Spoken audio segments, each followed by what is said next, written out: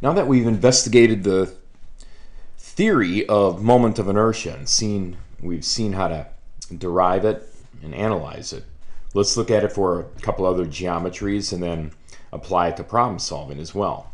Let's consider first a thin-walled cylinder. We start with a thin ring, a thin ring. So here's a ring, and it's thin in that the thickness of the ring itself is negligible, so the mass all exists from the point of rotation, which is at the geometric center here. The mass is at radius r, all of it. So let's take a little delta m and consider that the moment of inertia of the ring is delta m r squared, delta m1 r squared, plus the next one, plus the next one, etc. All the delta m r squareds, which is m ring r squared can all simplify down to the total mass of the ring times radius squared because every point of mass on the ring is distance r away, the same r.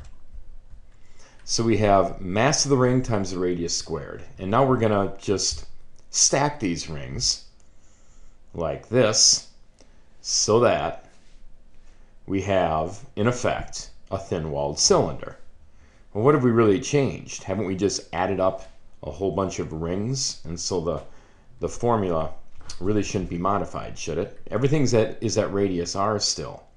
But now the mass of the ring, all the rings added up becomes the mass of the cylinder. So the moment of inertia for the cylinder is the total mass times radius squared. So that's the moment of inertia for a thin-walled cylinder. And it's like a pipe or a tube. And this occurs quite a bit in engineering, quite a bit in practical examples. We have the thin-walled cylinder under our belts now. Now let's uh, extend that to a thick-walled cylinder. So here's a cylinder with non-negligible thickness of the walls. And we'll consider it of length L. And the radii will be R1 and R2. So we're going to consider a, a differential R within the thick-walled region here. So that differential R, of course, is differential. And if we imagine, kind of hard to show this in the perspective, but if we imagine putting a, uh, carving out basically a tube or a thin-walled cylinder of radius R, out of this thick-walled cylinder, we have this. So I just inserted a thin-walled cylinder. I know it doesn't look exactly right, but this extends into the material, right? And it's of thickness dr. So hopefully that makes sense. So what I've just done is, you know, kind of tried to show a thin-walled cylinder, a tube, placed inside here. Well, you can imagine this tube will have different radii all the way out from R1 to R2. So you know what we're going to do. We're going to add up all the tubes to analyze this problem. So let's do that. So every differentially thin cylinder, like this one I show here, is part of the whole thick-walled cylinder. So the differential moment of inertia of that differentially thin cylinder is r squared dm. We already did the analysis on that. So that's what we just did.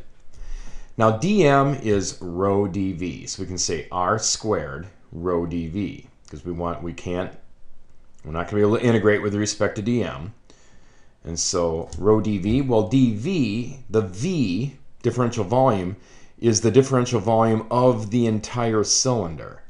Now, not the volume that that cylinder would hold, not the volume of space it it it surrounds, so to speak, but the material of the differentially thin cylinder itself. All right, so that's going to be given by the circumference of the cylinder times the length of it, and then times the thickness. So again, that is the volume, in this case the differential volume because it's dr, the differential volume of that tube, that differentially thin cylinder that's inserted in the thick-walled one. Hopefully that makes sense. Then the moment of inertia of the entire thick-walled cylinder is basically adding up the contribution of all these differentially thin cylinders. So it'd be the integral of the di's. And to expand that, we'd go from R1 to R2 of the R squared dm's. And so that takes us, brings us the fundamental equation. We're going to, of course, now stick in for dm. We're going to stick in this whole thing. So let's do that. So it's integral of r squared rho 2 pi r L dr. And the density, 2 pi r, I'm sorry, not 2 pi r, but density, 2 pi, and L are all constants. We can bring them out. Integral r1 to r2 of r to the third. So that's constant, r to the fourth over 4 from r1 to r2. And that simplifies to rho pi L over 2 times the outer radius to the fourth minus the inner radius to the fourth. So that's pretty good. That's the moment of inertia of that cylinder, but we really don't want it in terms of the density. And we really like it in terms of more fundamental quantities like the mass. And this is going to actually be simplified also. So let's work on this equation just a little bit. So we can actually expand that last expression as follows r2 squared plus r1 squared times r2 squared minus r1 squared times the constant in front. And that may not look very helpful, but it actually is, as you'll see, because we can consider the entire mass of the cylinder as being equal to the density times the volume. So the mass of the thick-walled cylinder is density times volume, but we don't want to include in the volume the volume of the hole. So let's expand this a little bit. So it's the density times the volume of the entire cylinder, pi r squared L, the outer region. But we have to subtract from that the volume of the hole. So that's just rho pi r1 squared L. That would be the volume of the hole. So subtracting those two, we get rho pi L r2 squared minus r1 squared, and that is equal to the mass. Well, very fortunately, we have this and this. That is this whole term here. That's wonderful. That really simplifies this expression. Wow! Wow! To this, moment of inertia is 1 half m, r2 squared minus r1 squared. So that is the formula for the thick-walled cylinder. Two different radii. Now, if r1 is 0, which means it's a solid cylinder. So just eliminate this. And we get 1 half mr squared. So that's the formula for a solid cylinder. And that comes up a lot. Notice it's exactly half of the moment of inertia of a thin-walled cylinder or a ring. If R1 is approximately equal to R2 in the thick-walled cylinder, so set them about equal, well, that means it's approaching a thin-walled cylinder, right? So we have 1 half m, just R1 is about equal to R2, so just call it R. So we have 1 half m R squared plus R squared, which is, again, mr squared. The same thing we got for a thin-walled cylinder. And basically, if you have that, then the r's are all the same. Every delta m is r away from the axis. So the sum of all those little delta m's is the total mass. Let's now consider... Oh, that's awful. Hope you're awake. A strong massless cable wrapped around a drum. That's a solid cylinder mass 50 kilograms, diameter 0.12 meters. Rotates freely on a stationary axis. So that's this axis here that's got a bearing that goes through the center and it's of no friction. The end of the cable is pulled with a constant force of 9 newtons for 2 meters. The cylinder is going to start from rest and we're going to figure out the angular velocity at the end of that 2 meters and the speed of the cable. So this is an energy problem for us right now. Work is equal to delta K. Force times distance is delta K. Well, now what kind of K do we have? Do we have translational or do we have rotational? Whoops, this way. And you know we have rotational. So rotational kinetic energy we've now covered. And we have the difference, so it's the final 1 half i omega squared minus the initial 1 half i omega 0 squared. Well, it started from rest, so that term is gone. And now we can solve for omega, because we have this and this. f dot d is equal to 1 half i omega squared. But first, let's get the moment of inertia, which we know is 1 half mr squared, because we just obtained that for the solid cylinder. And that number is 25 times 0.06 squared, which is 0.09 kilogram meters squared. Now omega would just be multiply both sides by 2, divide by i, take the square root, square root of 2 fd over i, plug the numbers in, square root of 400, 20 radians per second. That wasn't too tough. The speed at the end of the, of the cable itself, well, the speed is equal to r omega. So the radius times the angular velocity gives you the speed. So that's the speed of the cable. And that would give us 0.06 times 20, 1.2 meters per second. Let's do an example where we're looking at the moment of inertia of a little structure consisting of point masses. I know it doesn't look like point masses, but these connectors, as they're called, are considered point masses at the end of these struts. And what we're going to do is look at rotating it about an axis through A. So it's going to be spinning around like this. Then we're going to rotate it through BC and have it spin around. It's kind of hard to show, but spin around that axis of symmetry. Check the moments of inertia. And then get the kinetic energy also for uh, spinning at 4 radians per second. So moment of inertia through A is the sum of the MIRIs squared, and that's 0.1. There's 0.1 times 0.5. That's the distance from this axis of rotation to the connector, plus the mass of C, which is 0.2 times the distance, 0.4 squared. And that gives us 0.057 kilogram meters squared. Now let's rotate it through BC.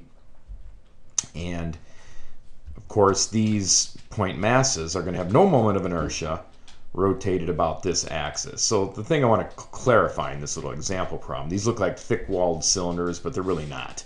They're so small that they have no effective R in and of themselves. So just, just deal with that, all right? So that's 0 plus 0 plus the contribution of this mass, but rotated about here, that distance is 0.4 meters of the 0.3 kilogram mass. So 0.3 times 0.4 squared, 0.048 kilogram meters squared. Obviously, they're different, so that highlights how different axes of symmetry will give you different moments of inertia. And when omega is 4 radians per second, if we're rotating about the A axis, Ka is 1 half i omega squared, 0.456 joules. I'll finish this video with a very important problem type that you will certainly see again. Ooh, there's a wonderful sound. We have a solid cylinder of mass m, big M, at radius r, attached to a wall somewhere. And hanging off of that, we have a mass m. And this thing is pivoting frictionlessly on a bearing here. We're going to figure out, if we release it from rest at height h, what the speed of the mass is when it hits the floor and what the angular velocity of the wheel is. So this is going to be done with energy here at this. And thus we can say total work is delta K. But this is going to be a little bit different than before. We start the same way with our energy expression. K1 plus UG1 is K2 plus UG2. And K1 is 0 because it starts from rest. And UG2 is 0 because the mass ends up on the floor. And this thing is not going to fall down, so there's no translational energy in the, in the wheel or the cylinder but it does have rotational energy. So we have K2 is UG1, and we're going to expand K2 now. So as before, as we've always done, 1 half mv squared. Okay, the kinetic energy of translation of this mass. But now we have to add another term. And the term we're going to add, of course, is the rotational energy of the solid cylinder. And we know what the moment of inertia is already, but let's just go ahead and write out the energy, which is 1 half I omega squared. So both of these factors now have to be taken together to equal the mgh, which is the total mechanical energy of the system. So that is how you work the energy for a problem like this. And now keep in mind I is 1 half mr squared and omega is v over r. So we're going to use that to sub in. So we have 1 half mv squared plus 1 half of I, which is 1 half mr squared. So there it is. There's I. And then omega squared, omega is v over r. So we put for omega squared, v squared over r squared equals mgh. Notice that the r squareds cancel. That's wonderful. It's radius independent for a problem like this. So the next line, 1 half mv squared plus 1 fourth big mv squared equals mgh. So there's both terms. Now, it's kind of interesting to look at this. 1 half mv squared, we understand what that is. 1 fourth mv squared. If you think of mass m, the wheel, translating at v, then its translational kinetic energy would be 1 half big mv squared. Half of what you, or twice what you see this to be. The rotational kinetic energy ends up being half what the translational kinetic energy would be if this mass were moving at speed v.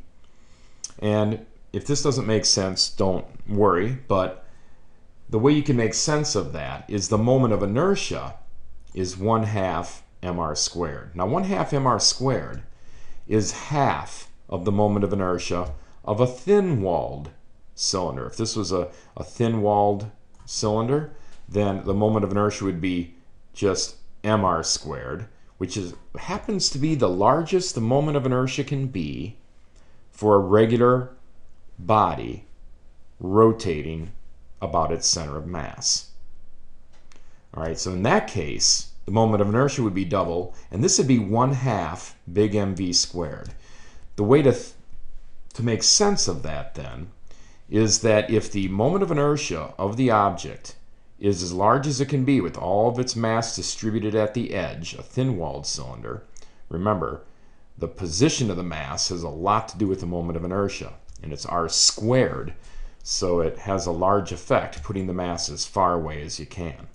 If we do that, then the way the rotational inertia works is that it makes this rotating mass look as though it's a translating mass. And the, the rotational kinetic energy would be equal to the translational kinetic energy, 1 half mv squared. But we have 1 fourth mv squared because it's a solid cylinder, which would be the same as a disk. Again, if you didn't follow all that, I'll probably hit that again, but it's really mm, important conceptual concept. So I wanted to present that to you. Now, solving this thing, we want to solve for the speed, so factor out the v squared, which is mgh. Now what I'm going to do is multiply this whole thing by 2, and that'll make this 2 mgh and get rid of this half and make this quarter. It'll make it a half. So v is square root of 2 mgh over m plus m over 2. Now I don't like having m in two places because it's really hard to see how the speed varies with little m in this. So let's multiply it by 1 over m over 1 over m. And we get our final answer with the variables expressed 1. Square root of 2gh over 1 plus big M over 2 little m. Wasn't that fun?